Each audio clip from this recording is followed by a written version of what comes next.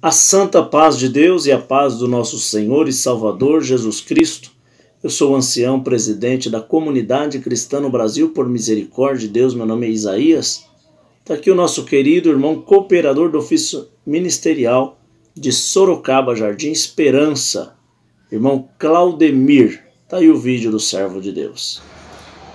Paz Deus, igreja, paz Deus, irmãos. Aqui é o irmão Claudemir, da cidade de Sorocaba.